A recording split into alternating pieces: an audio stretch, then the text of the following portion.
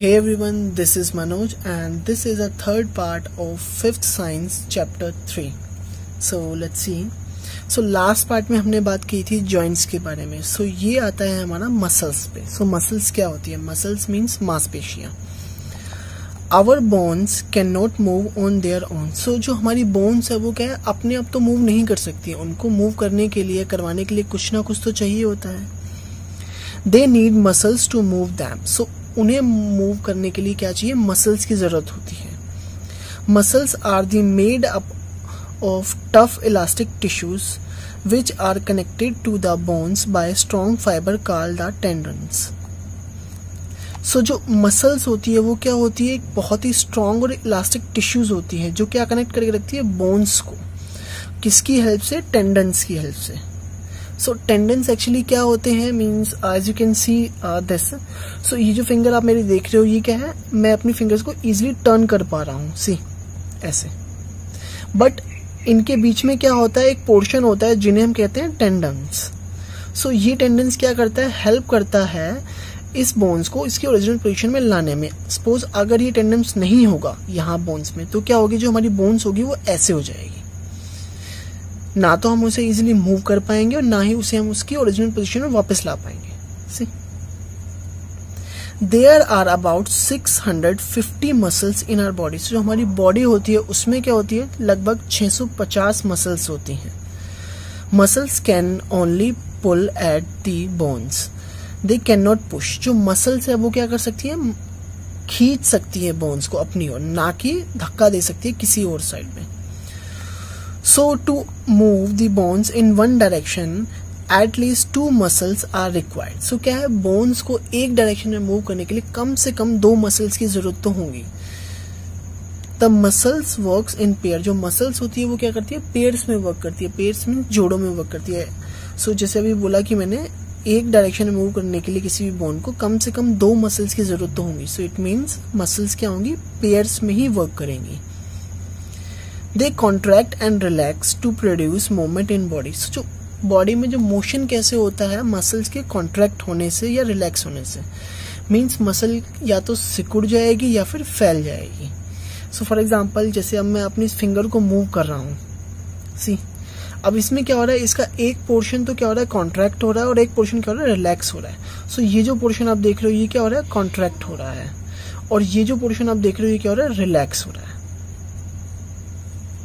So actually muscles क्या होती है? जो ह्यूमन बॉडी है वो सेल से मिलकर बनी होती है. फॉर एग्ज़ाम्पल जो हमारा घर होता है वो ब्रिक से मिलकर बना होता है वैसे ही ह्यूमन बॉडी क्या होती है? सेल्स से मिलकर बनी होती है. और जब ढेर सारी सेल्स आपस में जुड़ती हैं तो वो क्या बनाती है? वो बनाती है टिश्यूज और जब ये टिश्यूज आपस में मिलते हैं तो ये क्या बनाते हैं? मसल्स बनाते हैं. और इस मसल से क्या बनती है? कंप्लीट ह्यूमन बॉडी बनती है. सो so, नेक्स्ट आता है हमारा type of muscles so first आता है हमारा स्केलेटल मसल सो फ़र्स्ट में फ़र्स्ट पार्ट में हमने बात की स्केलेटन के बारे में. सो so, यहाँ बात होगी उसी की मसल्स के बारे में. The skeletal muscles lie between the skin and the bones जो ये मसल होती है क्या करती है? बोन्स और स्किन के बीच में लाई करती है. दोनों के बीच में होती है. The skeletal muscles have voluntary movement. So जो स्केलेटल मसल्स होती है, उसमें क्या होती है? वो वॉलेंट्री मूवमेंट शो करती है। वॉलेंट्री मूवमेंट्स क्या होती है? ये वो मूवमेंट्स होती है, जिसे एक ह्यूमन अपनी इच्छा के अनुसार क्या कर सकता है? कंट्रोल कर सकता है। फॉर एग्ज़ाम्पल अगर मैं अपनी फिंगर को मूव करना चाहूँ तो मैं अपने अकॉर्डिंगली कर सकता हूँ। सो so, ये क्या है? एक टाइप की वॉलेंट्री मूवमेंट है। Skeletal muscles can move at our will so ये क्या है? हमारी इच्छा के अनुसार वर्क कर सकती है। Skeletal muscles are use in running walking laughing and eating so जो स्केलेटल मसल्स है, इनका यूज़ कहाँ कहाँ होता है? रनिंग में, चलने में, दौड़ने में, हंसने में और खाने में। नेक्स्ट आता है हमारा smooth muscles so muscles of some body organ such as a wall of stomach and intestine have smooth muscles so जो हमारे बॉडी के कुछ ऑर्गन्स होते हैं, जो उन ऑर्गन्स की जो वॉल होती है मीन जिससे वो मिलकर बने होते हैं, वो क्या होती है? स्मूथ मसल्स होती है। फॉर एग्ज़ाम्पल हमारा स्टमक हो गया या हमारा इंटेस्टाइन हो गया। These muscles work on their own so ये वो मसल है जो अपने आप ही काम करती है। मीन्स इन मसल्स को हम अपनी इच्छा के अनुसार मूव नहीं करवा सकते हैं। So these are call the involuntary muscles so इस टाइप की मसल्स को हम कहते हैं इनवॉलेंट्री मसल्स मीन्स वो मसल जो हमारी इच्छा के अनुसार काम नहीं कर सकती, उन्हें हम कहते हैं इनवॉलेंट्री मसल्स थर्ड आता है हमारा cardiac muscle involuntary muscles of our heart are cardiac muscles जो कार्डिक मसल्स होती है वो क्या होती है? हमारे हार्ट की होती है। जो हमारा हार्ट होता है वो इसी मसल से मिलकर बना होता है।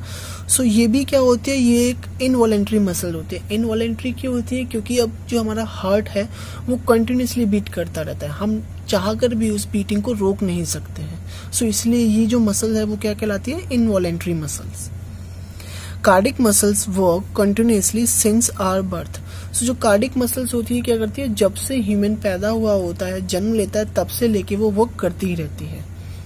The contraction and expansion of cardiac muscles count one heart beat so जो कार्डिक मसल का कॉन्ट्रेक्शन और एक्सपेंशन मीन्स फैलना और सिकुड़ना, दोनों को मिला के क्या बनता है? एक हार्ट बीट बनाता है। सो so, ये था हमारे मसल्स के बारे में।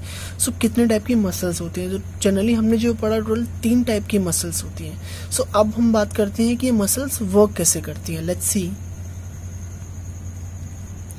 how do muscle work so जो मसल है वो काम कैसे करती है? Let's see muscles work in pair by contraction expansion जो मसल होती है वो क्या करती है? जोड़ों में काम करती है। कॉन्ट्रेक्शन से और एक्सपेंशन से मीन्स फैलने से और सिकुड़ने के प्रोसीजर से ही वर्क करती है।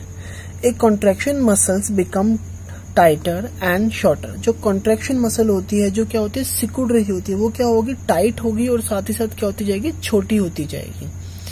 While an expanded muscles is relaxed, it goes back to its original shape. जबकि वो मसल जो क्या हो रही होगी? फैल रही होगी अपने आप को फैला रही होगी। वो क्या होगी? रिलैक्स पोजीशन में आ जाएगी। मीन्स जो अपनी पोजीशन में वापस आ जाएगी जैसे वो पहले थी। The biceps and triceps in our body arms are voluntary muscles that work together जो बाइसेप्स हो गए या ट्राइसेप्स हो गए हमारी आर्म्स के अंदर, हमारी बाजू में, वो क्या है? वॉलेंट्री मसल्स का ही एक एग्ज़ाम्पल है, जो कि आपस में मिलकर काम करती हैं।